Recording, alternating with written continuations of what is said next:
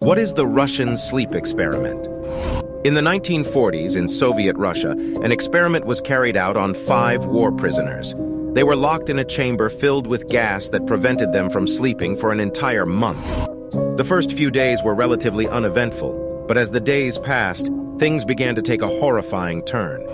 By the ninth day, one prisoner started to scream continuously until his vocal cords gave out. The others blocked the chamber windows, keeping the researchers in the dark about what was happening inside. On the 15th day, the researchers decided to turn off the gas and enter the chamber. What they found was a scene from a nightmare. The prisoners had self-inflicted mutilations, but they were somehow still alive, pleading for the sleep-preventing gas to be turned back on.